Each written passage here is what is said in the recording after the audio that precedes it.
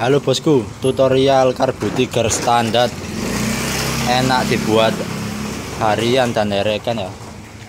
Kalau motor di bengkel ini kebanyakan semua memakai karbu tiger standar semua spesialis karbu tiger seperti ini GL Mega Pro ini juga tiger. Ada juga CB ini juga pakai tiger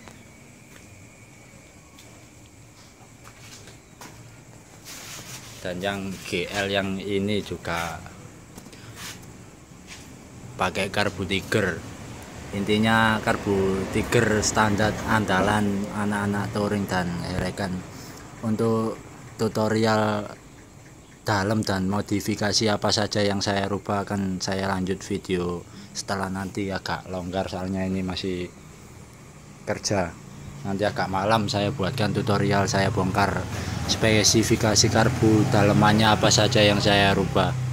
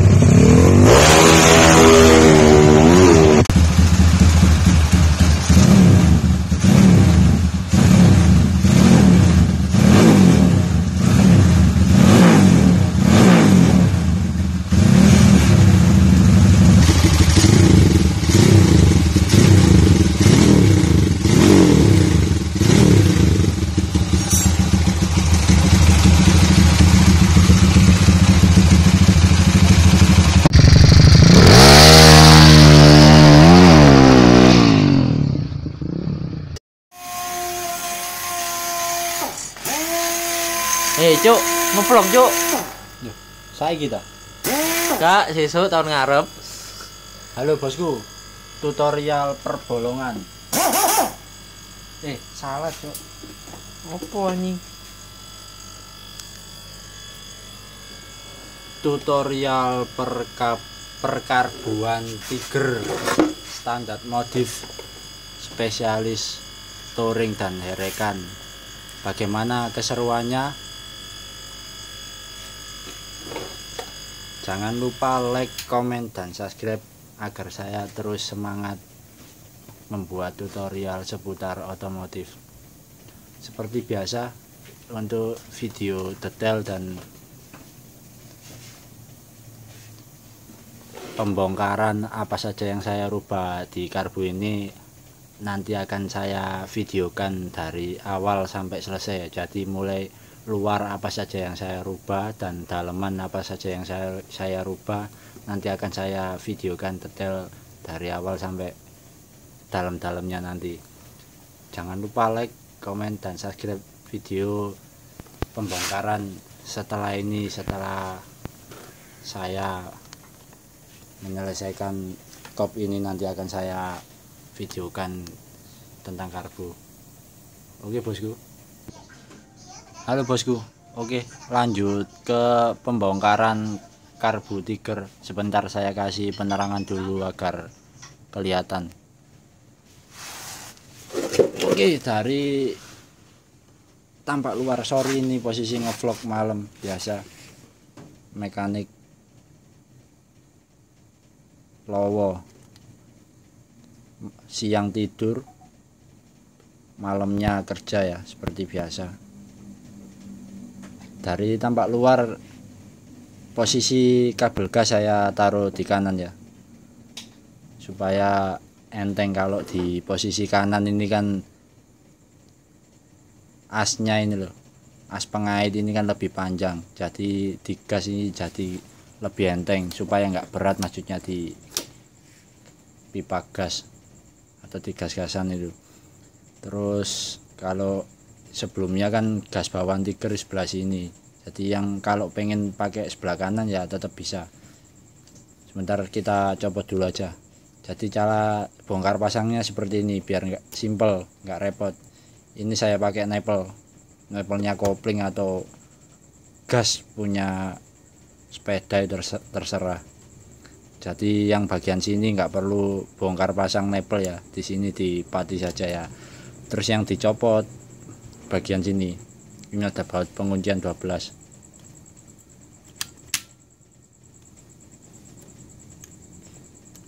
ini udah saya kendorkan tadi.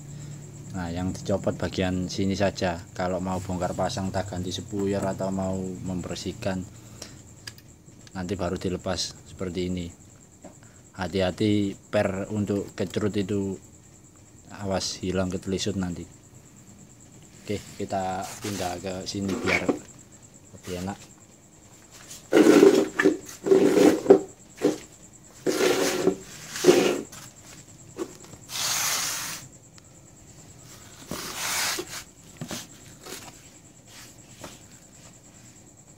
Nah. saya benerin kamera du- dulu bosku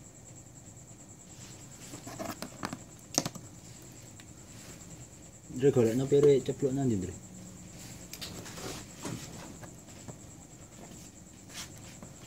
Oke untuk untuk fisik bagian luar apa saya apa saja yang saya rubah? Jangan lupa ditonton video dari awal sampai akhir biar jelas ya. Jadi untuk pemasangan area gas tadi di sini saat pembongkar dan pemasangan. Jangan lupa ini disimpan takutnya kesingsal atau ketelisut. Soalnya ini barang kecil per untuk pengait tuas kecurut ini. Untuk bensin bantuan ini bantuan bensin. Biasanya ini sering hilang soalnya kalau cari baru ini susah untuk bagian ini saya kalau khususnya karbu tiger untuk bagian luarnya jarang melakukan perubahan ya. Jadi saya masih tetap mempertahankan standar. Dari ya jadi yang saya rubah kalau bagian kanan saya gerinda ini supaya nggak mentok di rangka. Kalau manifold saya pakai standar tiger. Jadi kalau dipasang di khususnya GL dan Mega Pro itu biar agak membelok gini karbunya. Lah kalau biasanya teman-teman kan masangnya itu ada yang posisinya miring gini soalnya ininya nggak digerenda. Jadi yang digerenda ini sedikit dan bagian ini digerenda sedikit supaya nggak nyangkut di rangka. Kalau mau rapi harus gerenda bagian rangka bagian sambungan ini. Sedikit saja tapi nah bisa dilihat. Nah itu. Jadi di sedikit supaya supaya si karbu ini nanti posisinya bisa lurus begini. Kadang kan ada karbu punya teman-teman itu posisinya yang agak cenderung miring saya keluar gini ya jadi fungsinya dikikis sedikit atau digerinda sedikit bagian ini itu supaya posisi karbu itu dia bisa lurus. Supaya nggak miring gini loh maksudnya. Soalnya soalnya kalau posisinya miring itu dilihat aneh. Lah kalau bagian atas supaya nggak mentok tangki bagian tangki diganjal klaker biasanya. Seperti itu. Intinya jangan banyak-banyak ngerusak oke lanjut. Bagian selanjutnya di bagian bukaan gas. Kalau bawaan tiger itu lurusnya mulai dari sini ya.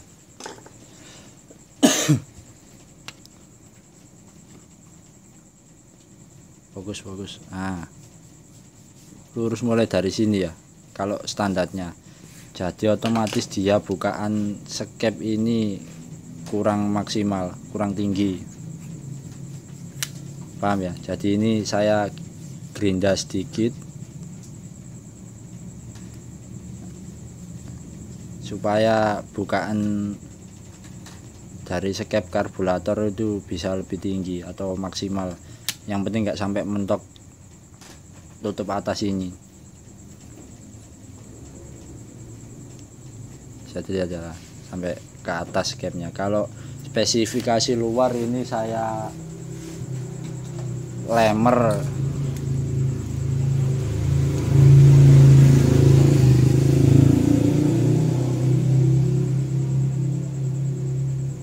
Saya lemer Venturi lubang.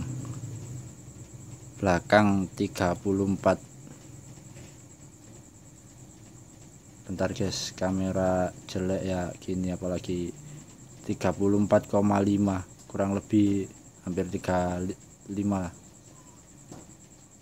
34,5 jadi ini saya lemer supaya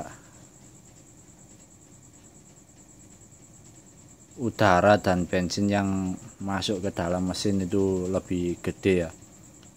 Kalau spek-spek standar tiger piston standar tiger atau askruk tiger standar terus piston standar nggak masalah nggak usah dimodif.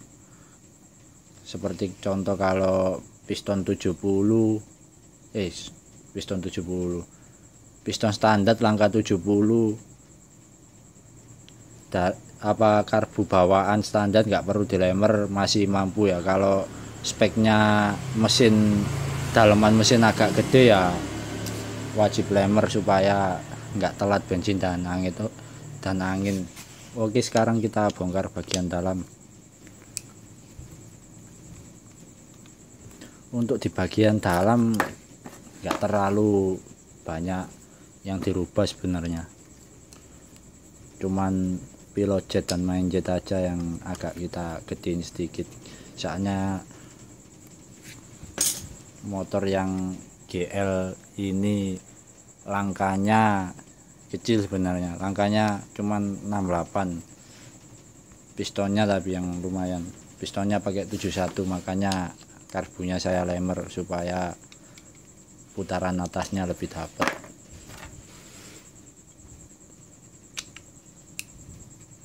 nanti akan saya jelaskan satu persatu cara kerja karbu tiger itu seperti apa kalau yang masih ada karet ini pas nyopot hati-hati hilang. Jadi ini kecrut bawaan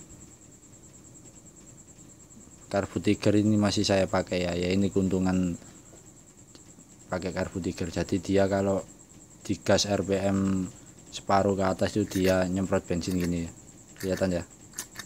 Dia nyemburkan bensin gitu loh ya jadi bensin itu dari situ dimasukkan nah itu ada seperti as kuning yang nonjol itu ada lubangnya masuk ke dalam. Jadi dia buat bantuan bensin.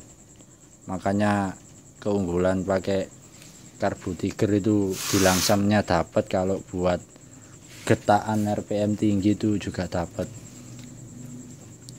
Untuk pilot jet dan main jet saya tidak akan menjelaskan ukurannya. Intinya tergantung spek masing-masing ya.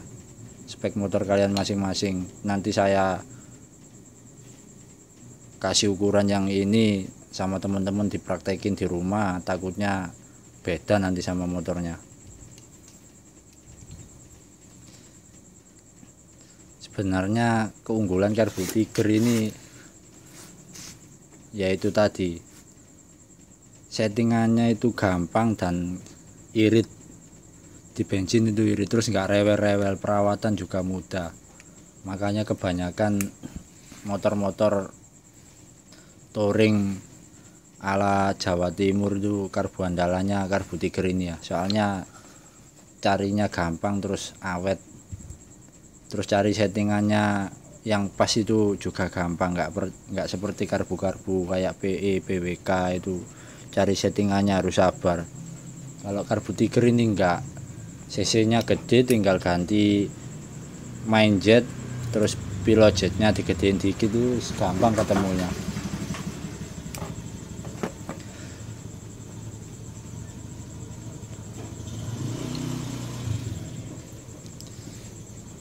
Oke bosku, sudah paham kan apa saja yang saya rubah di sini.